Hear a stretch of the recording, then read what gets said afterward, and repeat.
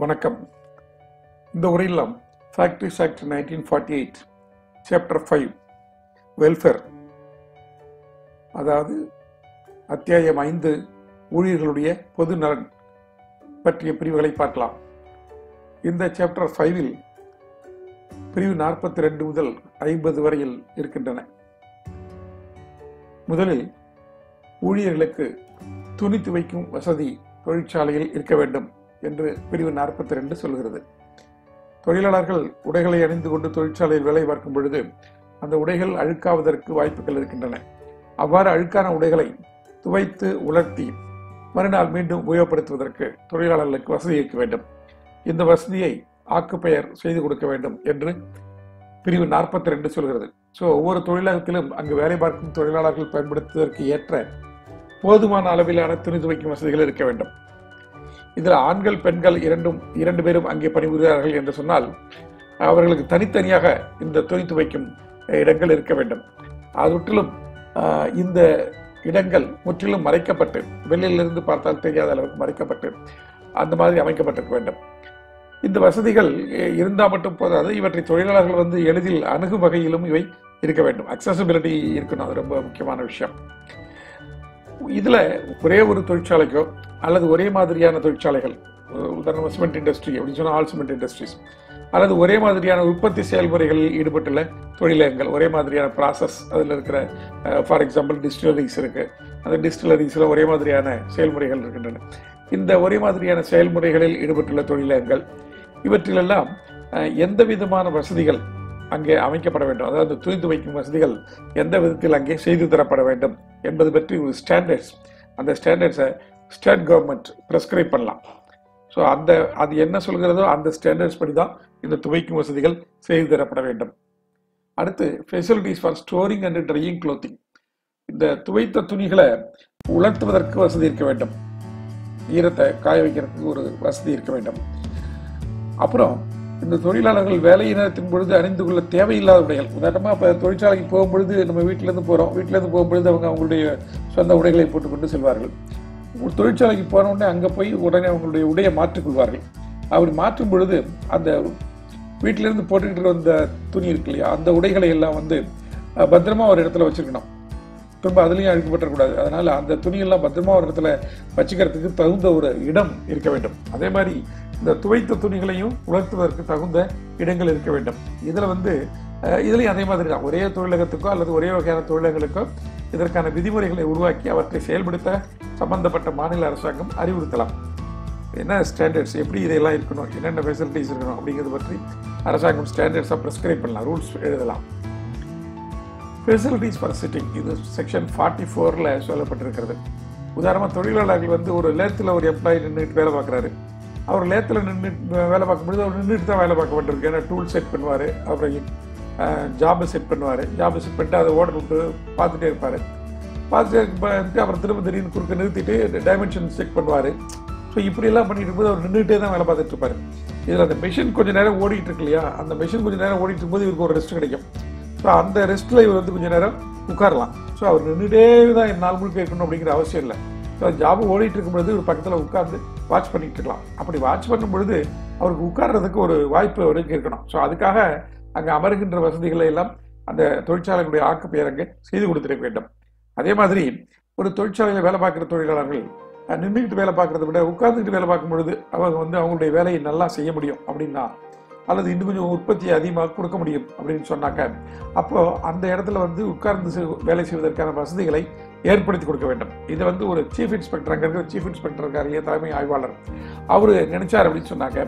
இந்த ஒரு டேட் ஒரு பர்டிகுலர் டேட் ஒன்று ஃபிக்ஸ் பண்ணி அந்த டேட்லேருந்து எல்லாருக்கும் நீங்கள் வந்து உட்கார்ந்து வேலை செய்வதற்கு நீங்கள் வசதி செய்து தர வேண்டும் அப்படின்னு சொல்லி அந்த ஃபேக்டரியோட ஆக்குப்பெயருக்கு அவர் வந்து ஒரு ரிட்டர்ன் ஆர்டர் ஒன்று கொடுக்கலாம். எழுத்துப்பூர்வமான ஒரு ஆணையை அவர் பிறப்பிக்கலாம். Chief inspector of factories பிறப்பிக்கலாம்.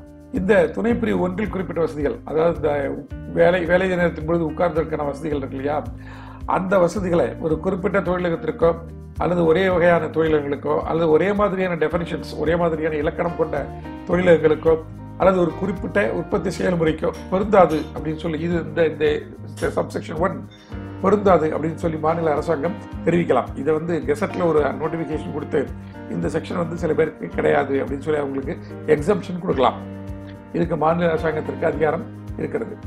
பிரிவு நாற்பத்தி ஐந்து முதல் உதவி சாதனங்கள் ஃபர்ஸ்ட் எய்டு எக்யூப்மெண்ட்ஸ் ஒரு நூற்றி ஐம்பது பேர் வேலை பார்க்குற ஒரு தொழிற்சாலையில் கண்டிப்பாக ஒரு முதலுதவி பெட்டி ஃபர்ஸ்ட் எய்டு பாக்ஸ் அல்லது ஒரு கபோர்டு முதலுதவி அலமாரி வைக்கப்பட்டிருக்க வேண்டும். இந்த அலமாரியில் முதல் உதவிக்கு தேவையான ஃபர்ஸ்ட் எய்டுக்கு தேவையான மருந்து பொருட்கள் மற்றும் இதர பொருட்கள் கண்டிப்பாக வைக்கப்பட்டிருக்க வேண்டும்.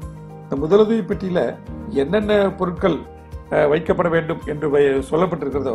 அந்த பொருட்களை தவிர வேற எந்த பொருட்களும் வைத்திருக்கக்கூடாது இந்த முதலுதவி பெட்டிகள் தொழிற்சாலையின் வேலை நேரத்தில் எல்லா நேரத்திலும் தொழிற்சாலை இயங்குகின்ற எல்லா நேரத்திலும் தேடினால் உடனே கிடைக்கிற மாதிரி இருக்க வேண்டும். முதலுதவி பெட்டி எங்க இருக்குன்னே தெரியாம இருக்கிறது அல்லது முதலுதவி பெட்டியை எங்கேயோ ஒருத்தர் பூட்டி சாவி இருக்கக்கூடாது அப்படிங்கிறது அந்த மாதிரி எல்லாம் இருக்கக்கூடாது ஸோ முதலுதவி பெட்டி எந்த நேரத்திலும் கிடைக்கிறது போல் இருக்க வேண்டும். மாநில அரசாங்கம் இந்த ஃபர்ஸ்ட் எய்டுக்குன்னு ஒரு சர்டிஃபிகேட் கொடுக்குறாங்க. இந்த ஃபர்ஸ்ட் எய்டு கொடுக்கறதுக்கு ஒரு ட்ரைனிங் ஒன்று இருக்குது அந்த ட்ரைனிங்கில் சர்டிஃபிகேட் வாங்கினவங்க அது கவர்மெண்ட் அந்த இந்த ஸ்டேட் கவர்மெண்ட் கொடுக்குறாங்க. அந்த சர்டிஃபிகேட் வாங்கின ஒருத்தர் வந்து அந்த அவருடைய பொறுப்பில் தான் இந்த முதலுதவி பற்றி இருக்கணும். அவருடைய பொறுப்பில் இந்த இந்த முதலுதவி பற்றி இருந்தால் மட்டும் போதாது. அவர் இந்த தொழிலகம் வேலையை செய்யும் பொழுது அவர் அந்த நேரத்தில் அவர் அங்கே இருக்கணும். அஹ் அவர் இங்கே இல்லை அவர்கிட்ட தான் இருக்கு பெட்டி ஆனால் அவர் இங்கே இல்லை அப்படின்னு சொல்லக்கூடாது. ஸோ எந்த நேரத்திலும் வந்து அவர் அங்கே இருக்கணும். அவர் இல்லை அப்படின்னு சொன்னாக்க அவர் இன்னொருத்தட்ட ஒருத்தட்ட ஹேண்ட் ஓவர் பண்ணாது போகணும் அட்லீஸ்ட் ஸோ எந்த நேரத்துலையும் நமக்கு வந்து அந்த முதலுதவி பெட்டி கையில் கிடைக்கிற மாதிரி இருக்கணும். உடனடியாக மருத்துவ உதவி தேவைப்படும் பொழுது உடனே செய்வதற்கு வசதியாக அது இருக்க வேண்டும். ஒரு ஐநூறு பேர் இருக்கிற ஒரு வேலை பார்க்கிற ஒரு தொழிலகம் ஒன்று இருந்துன்னு வச்சுங்களேன் அங்கே வந்து ஒரு ஆம்புலன்ஸ் ரூம் ஒன்று இருக்கணும் அப்படின்னு சொன்னாங்க ஒரு ஆம்புலன்ஸ் அறை ஒன்று இருக்க வேண்டும். அங்கே வந்து மெடிக்கல் ஸ்டாஃபு அண்ட் நர்ஸு செவிலியர்கள் போன்றவர்கள் போன்றவர்கள் அங்கே அது அவருடைய பொறுப்பில் தான் இந்த அறை இருக்க வேண்டும். வேலை நடக்கும் எல்லா நேரங்களிலும் தொழிற்சாலையில் வேலை நடக்கிற எல்லா ஆல் தி ஒர்க்கிங் அவர்ஸ் அந்த நேரங்களில் எல்லாம் இந்த ஆம்புலன்ஸ் நமக்கு கிடைக்கிற மாதிரி இருக்க வேண்டும். இது ரொம்ப ஒரு முக்கியமான விஷயம். ஐநூறு பேருக்கு மேல வேலை பார்க்கிற ஒரு தொழிலகத்தில் இந்த வசதி கண்டிப்பாக இருக்க வேண்டும். நாற்பத்தி ஆறு உணவகங்கள் கேன்டீன்ஸ் எந்த ஒரு தொழிலகமாக இருந்தாலும் அங்கே சாதாரணமாக இருநூற்றுக்கும் மேற்பட்ட தொழிலாளர்கள் பணிபுரிகிறார்கள் அப்படின்னு வச்சுக்கலாம் ஒரு நேரத்தில் இருநூறுக்கும் மேற்பட்ட தொழிலாளர்கள் அங்கே பணிபுரிந்தார்கள் என்று சொன்னால் அவருடைய பயன்பாட்டுக்காக ஒன்று அல்லது அதற்கு மேற்பட்ட கேண்டீன்ஸ் இருக்கணும் அப்படின்னு சொல்லி நம்ம ஆக்கு பெயரை வற்புறுத்துகிறது இந்த சட்டம். இதற்கு எப்படி இருக்கணும் அப்படிங்கிறதுக்கான விதிமுறைகளை எல்லாம் வந்து மாநில அரசு வகுத்து கொடுத்துருக்கலாம். ஸோ மேற்கண்ட அதிகாரத்தில் எந்த விதமான கான்ட்ரடிக்ஷனும் இல்லாமல் இந்த விதிமுறைகள் வந்து கீழ்க்கண்ட விஷயங்களை பற்றி கொள்ளலாம். என்னென்ன விஷயங்கள் அப்படிங்கிறது பார்க்கலாம். இந்த உணவகங்கள் எந்த தேதியிலிருந்து இந்த உணவகங்கள் செயல்பட வேண்டும் அப்படிங்கிறது அந்த ரூல்ஸ் சொல்லலாம். அதே மாதிரி இந்த உணவகத்தினுடைய கட்டுமானம் அந்த கேன்டீனை வந்து எப்படி கட்டணும்? அங்கே என்ன அக்காமடேஷன் இருக்கணும்? அல்லது இடவசதி? எவ்வளோ பேர் இங்கே உட்கார்ற மாதிரி இருக்கணும்? எவ்வளோ எவ்வளோ எத்தனை டேபிள் போடலாம்? எத்தனை சேர் போடலாம்? அந்த மாதிரி இடவசதி. அங்கே இருக்கிற ஃபர்னிச்சர்ஸ் உண்டான டேபிள் சேர் இருக்கணும். சாப்பாடு போடுறோம் அப்படின்னு சொன்னால் கீழே உட்கார்ந்து சாப்பிட முடியாது. அல்லது நின்றுட்டு சாப்பிட முடியாது. ஸோ சாப்பிட்றதுக்கு வசதியாக டேபிள் சேர் போன்ற விஷயங்கள். மற்றும் அதர் எக்யூப்மெண்ட்ஸ் இது எல்லாம் வந்து அந்த ஒரு உணவகத்தில் இருக்கணும். அப்படிங்கிறது வந்து ஒரு மாநில அரசாங்கம் குறிப்பிடலாம். மேலும் உணவகத்தில் வழங்கப்பட வேண்டிய உணவுப் பொருட்கள் என்னென்ன விதமான உணவுப் பொருட்கள் இங்கே வழங்கப்பட வேண்டும் அப்படிங்கிறதையும் அவற்றுக்கு என்ன விலை வைத்தவை விற்கப்பட வேண்டும் என்பது பற்றியும் மாநில அரசாங்கம் தன்னுடைய ரூல்ஸில் குறிப்பிடலாம். இந்த உணவகத்தை மேனேஜ் பண்ணுறதுக்காக ஒரு மேனேஜிங் கமிட்டி இருக்கும் கேன்டீன் மேனேஜிங் மேனேஜ்மெண்ட் கமிட்டி இருக்கும் இல்லையா? அந்த மேனேஜிங் கமிட்டியில் ஒர்க்கர்ஸோட ரெப்ரசன்டேட்டிவ்ஸ் அவங்களும் இதில் பங்கேற்கிறவமாக அவர்களுக்கு ஒரு வாய்ப்பு அளிக்கப்பட வேண்டும்.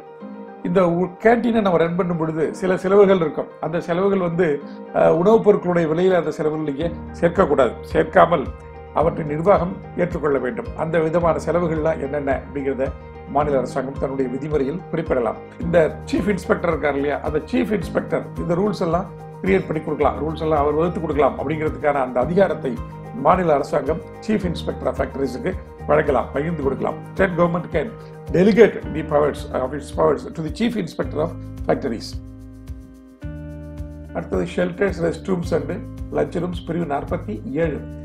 தங்குமிடங்கள் ஓய்வறைகள் மற்றும் உணவருந்து விடங்கள். சப்போஸ் தொழிலாளர்களுக்கு ஒரு நாள் ஏதோ ஒரு காரணத்தினால வேலை இல்லை அப்படின்னாக்க அப்போ தொழிலாளர்கள் வந்து ஓய்வு எடுக்க வேண்டும். அல்லது ஒரு டீ டைம் இருக்கு. டீ டைமில் ஒரு ஃபிஃப்டி மினிட்ஸ் டீ சாப்பிட்டு கொஞ்சம் ரிலாக்ஸ் பண்ணிட்டு வரலாம் அப்படின்னு சொன்னால் அப்போ ஒரு ஒரு ஒரு ஓய்வறை ஏற்படும்.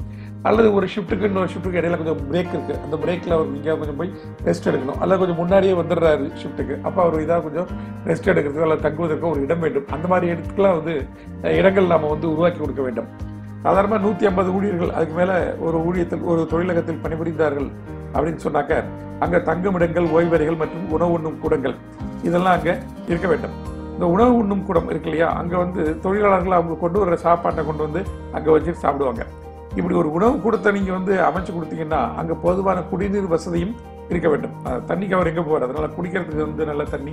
அப்புறம் சாப்பிட்டதுக்கப்புறம் அவருடைய அட்டன்சில்ஸ் எல்லாம் க்ளீன் பண்ணுறதுக்கு அதுக்கு ஒரு ஒரு ஒரு வாஷ் பேஷன் அந்த மாதிரி கை கழுவுறதுக்கு போதுமான தண்ணி வசதி இந்த மாதிரி வசதிகள்லாம் அங்கே செய்து தரப்பட வேண்டும்.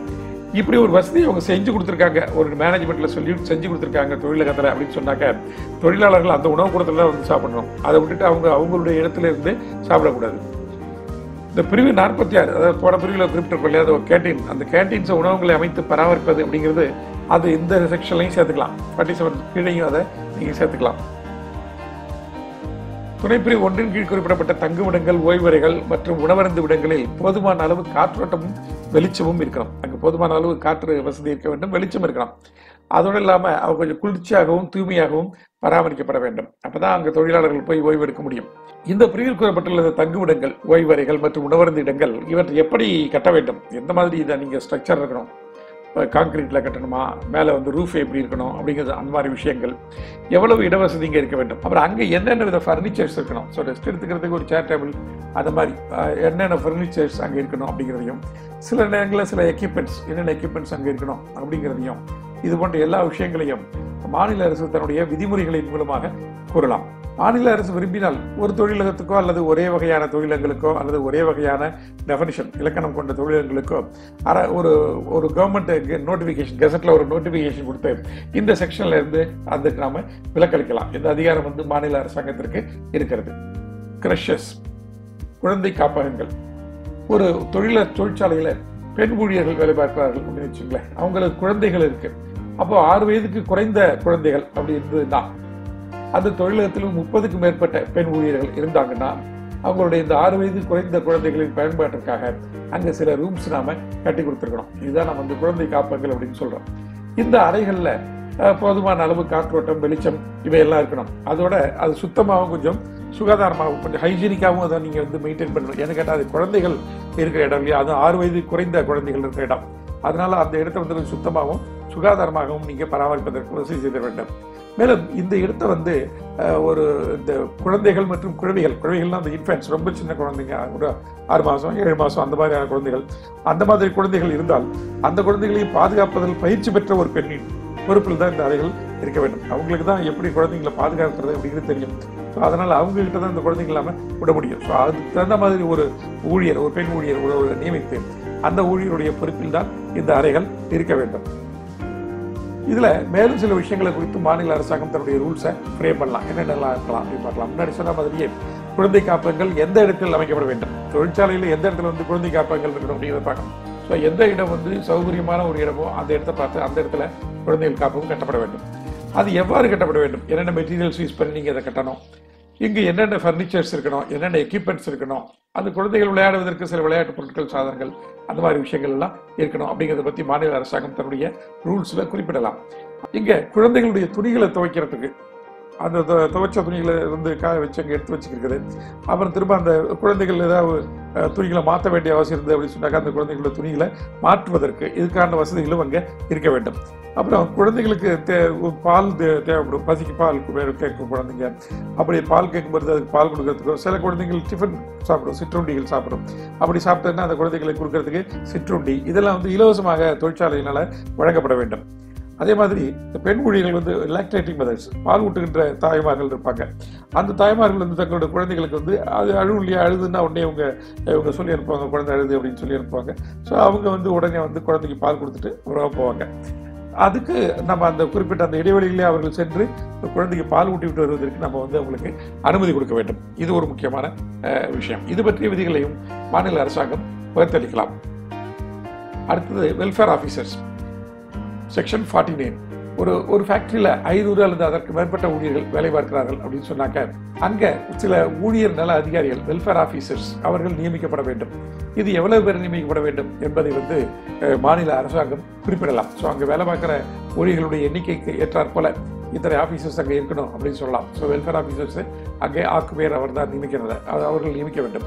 தொழிலாளர்கள் அதிகாரிகளுக்கான தகுதி குவாலிஃபிகேஷன்ஸு அவருடைய டியூட்டிஸ் அவருடைய சர்வீஸ் கண்டிஷன்ஸ் இதெல்லாம் வந்து மாநில அரசாங்கம் பரிந்துரைக்கிறது. அதன்படி வந்து நாம் அடுத்தது பிரிவு ஐம்பது இதில் வந்து சப்ளிமெண்ட் ரூல்ஸ் என்னென்ன பண்ணலாம் அப்படிங்கிறத பற்றி சொல்கிறது மாநில அரசாங்கம் சில கூடுதல் விதிமுறைகளை உருவாக்கலாம். என்னென்ன கூடுதல் விதிமுறைகளை உருவாக்கலாம் அப்படின்னு சொன்னால் இந்த சட்டத்தின் பிரிவுகளில் நாம் வந்து பலவிதமான வெல்ஃபேர் ப்ரொவிஷன்ஸ் இருக்கணும் அப்படின்னு நாம் சொல்லியிருக்கோம்.